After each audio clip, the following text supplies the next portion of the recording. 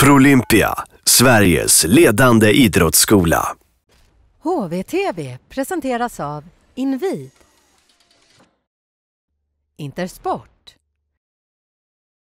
Nybergs bil och Jönköpings Energi.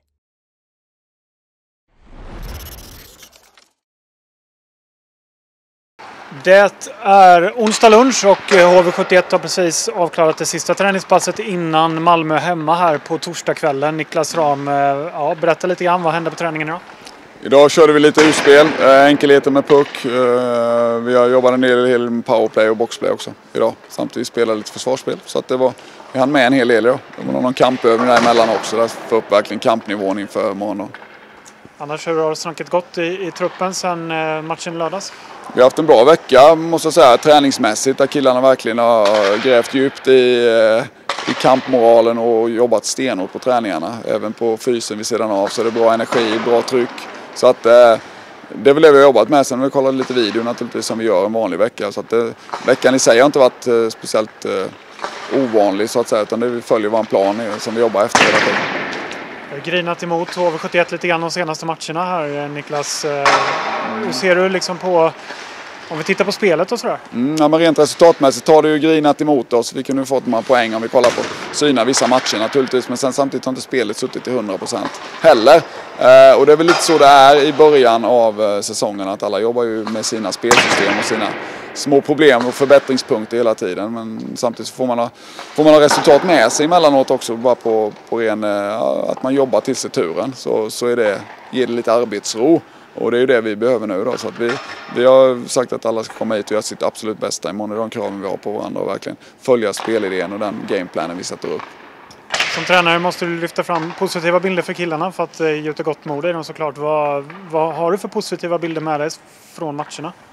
Ja, men vi gör mycket bra saker. Vi, eh, det har varit lite olika från match till match hur vi, hur vi bygger upp det. Men vi, vi bygger på den här enkelheten och den farten vi får med oss då när vi spelar enkelt med pucken nerifrån. Och då bygger vi ett bra anfallsspel och vi bygger bra ingångar och vi bygger med, med bra tryck mot kassen. Och sen måste vi bygga ihop alla de här bitarna då när vi har ett bra försvarsspel. Vi är starka i vårt pressspel och vinner puckarna i mittzon från motståndarna. Och kan gå på dem när de är lite mer oorganiserade. Det känns ibland som att vi vi väntar och avvaktar lite och då hinner motståndaren organisera sig och då är det betydligt svårare att slå dem on the rush. Så att, eh, det finns ju naturligtvis att jobba med men, men eh, vi, vi, ser många bra punkter också där vi följer spelidén till, till 100 procent. Mm.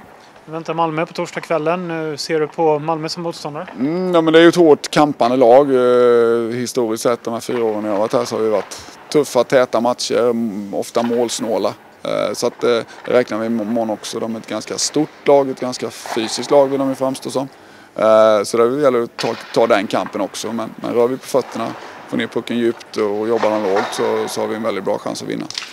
Vi har sett eh, på träningen här Axel Holmström har varit med och kört de senaste träningarna. Hur är status med Axel? Axel är redo. Han är game, game ready. Så det är härligt att få in en ny kille som, har, som inte varit med på ett tag. Axel bär också en centerroll som är väldigt viktig för oss med den centrallinan. Så det är väldigt spännande att få in honom också innan vi, när vi väntar på Lias också kommer tillbaka från avstängning. Så att, eh, det är klart att det är väldigt mycket för laget och Axel med sin person också är viktig att få in i laget. Så det, det, det, är bra för oss. Mm. Axel tillbaka som sagt. Övrigt i laget då Niklas, vad kan du säga om det?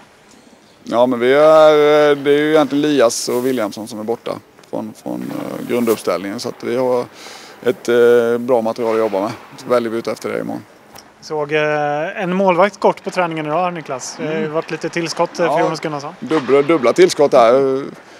Sent igår kväll fick ju Jossan och Jonas en, två små tvillingar så det är häftigt. De har ju, Eh, väntat på det ett tag här nu och verkligen, men det, kom, det gick väldigt snabbt den sista biten så att vi är väldigt glada för att allt har gått bra för dem. Till sist då Niklas, peka på en punkt som blir viktigt för HV71 mot Malmö Redhawks. Enkelheten nerifrån med puck. Lycka till då. Tack.